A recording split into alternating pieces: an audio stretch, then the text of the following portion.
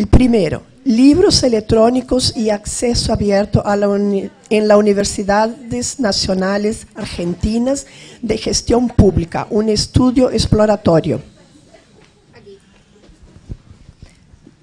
Bueno, en el póster resumimos los primeros datos de la investigación en la que buscamos conocer el estado de situación de la publicación de libros electrónicos en las Universidades Nacionales Argentinas de Gestión Pública, su grado de penetración y su relación con el acceso abierto.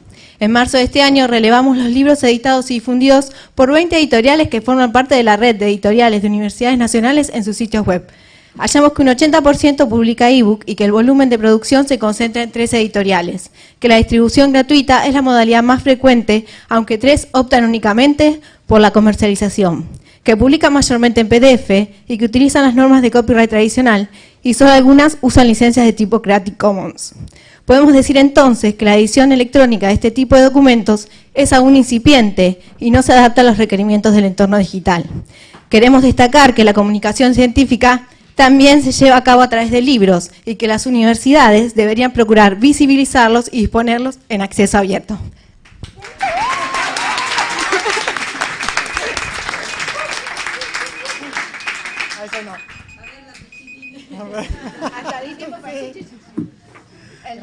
¿Somos tres? Bueno, muchas gracias.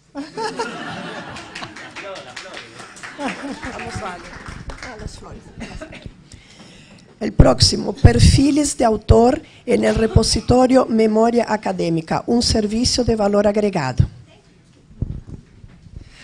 Este póster muestra los resultados alcanzados de la implementación del servicio de perfiles de autor en el repositorio Memoria Académica de la Facultad de Humanidades de la Universidad Nacional de La Plata.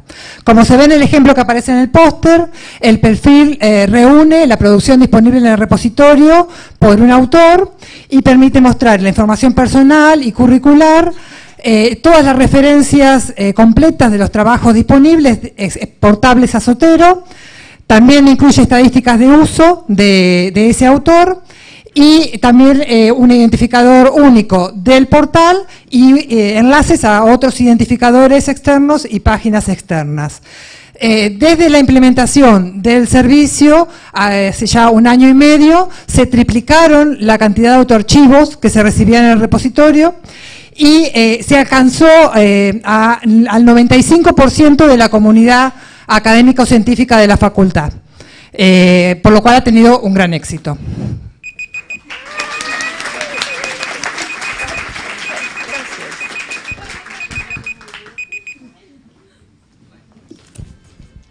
El tercero, experiencias de fortalecimiento del repositorio TEC, mejoras en el proceso de recolección de documentos para aumentar la visibilidad.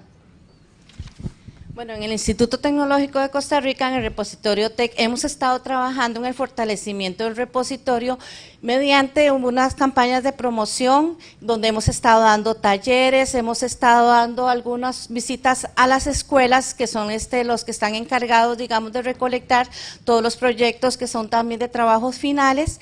Y hemos estado trabajando en la recolección de este, algunos recursos educativos para ponerlos a disposición de toda la, comunidad hasta nacional e Eh, nosotros hemos estado trabajando constantemente y hemos logrado aumentar lo que es la recolecc- recolección de los proyectos también para mejoras de nosotros. Y como conclusión, nosotros hemos optado por tener- seguir trabajando con estrategias nuevas que vamos a tener que estar incrementando y estar constantemente trabajándolas para poder seguir con este proceso. Pero realmente en los resultados nosotros podemos ver lo que se hizo en varios años, lo hemos hecho en un año y medio, hemos aumentado bastante la cantidad de recolección de materiales.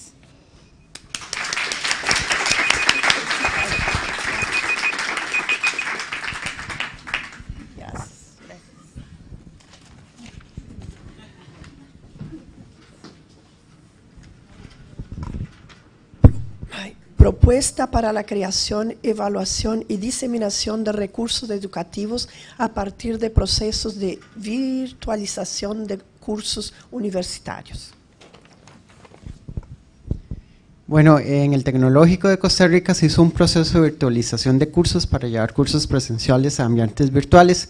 De este proceso quedaba una gran cantidad de recursos, imágenes, videos interactivos que se estaban quedando solo en los cursos del profesor. Entonces hicimos un proceso donde evaluamos esos recursos, los preseleccionamos y los convertimos en, en recursos educativos abiertos donde se les indicó a los profesores todos los metadatos que tenían que llenar y a partir de ahí se suben al repositorio institucional que ya está adaptado para estos recursos para que tengan mayor alcance y diseminación. Entonces, de ocho cursos logramos crear 211 recursos educativos que ya están disponibles para el público en general.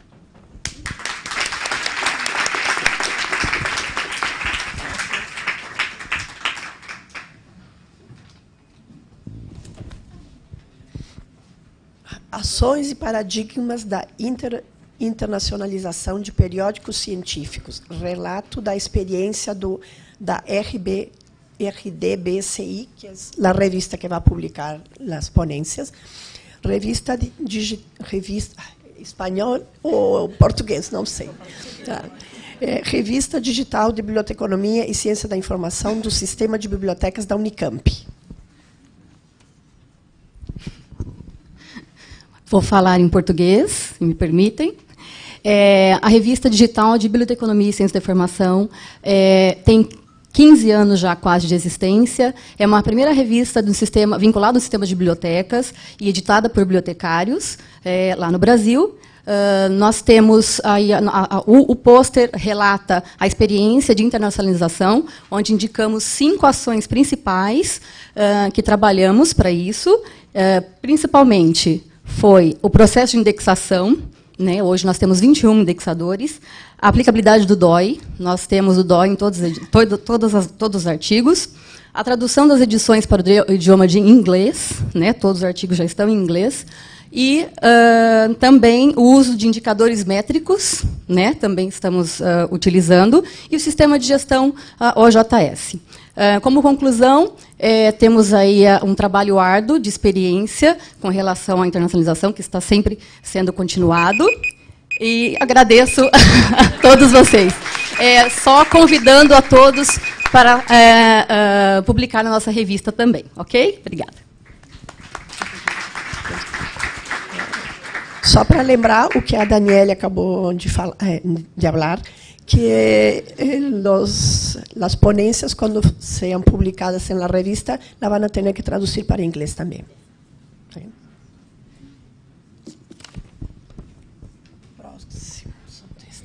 Sistema Integrado de Gestión de Datos Marinos en Brasil. Ah, está en español. Sí, bueno, en portuñol.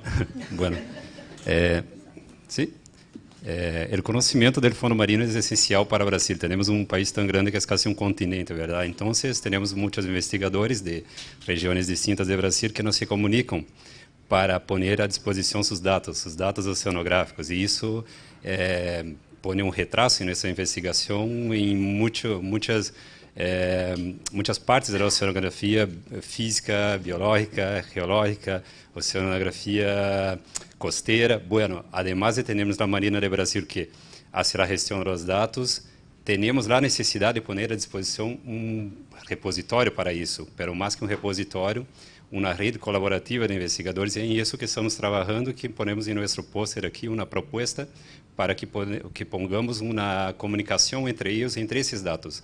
É decir, têm os dados, mas como utilizar esses dados, mas que pôr à disposição para que eles entendam esses dados e a conexão que há entre eles, uma comunicação además de, do próprio repositório.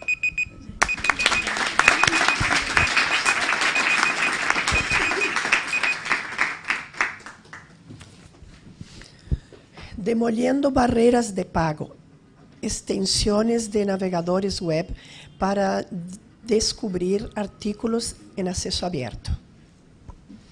Bueno, la principal barrera que sigue restringiendo el acceso a la información eh, principalmente es la de acceso, acceso por, por medio de pago. Entonces lo que hice fue identificar aquellas aplicaciones, extensiones o complementos que permiten integrarse a los navegadores web, que permiten esta identificación automática de recursos eh, como restringidos por una identificación de aquellos que están potencialmente accesibles en los repositorios digitales. Estas excepciones básicamente lo que hacen es, utilizan la madurez, eh, la riqueza y la explotación de todos los servicios que proveen principalmente por la ruta verde, y utilizar esa explotación para ayudar a la identificación rápida y automática de esos recursos. Entonces comparé todas las aplicaciones, qué prestaciones tienen y lo que se busca con estas aplicaciones que sean un paso intermedio entre el, el usuario y ese recurso gratuito que está disponible en la red.